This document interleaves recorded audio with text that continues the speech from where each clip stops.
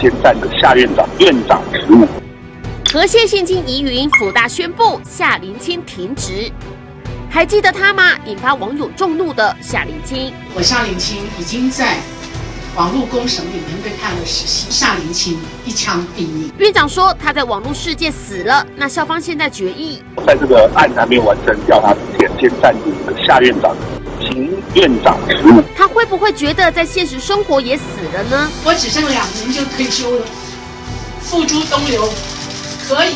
不是说拔掉，但是是暂停而已嘛。想要自己压下来的感觉，从一开始就没有走正常的途径。我觉得这件事情不能是这样算的吧，没办法去面对这件事情的真相，抹掉这件事情，抹掉这件事，我觉得是可耻的啦。本案心理系的言之相关责任，本校性评会由外聘委员组成调查小组正进调查中。校方眉头一皱，发现案情不单纯，所以要把夏林清停职，想止血。哼，你们反应也太慢了吧！这件性侵案可是去年六月发生的事哎。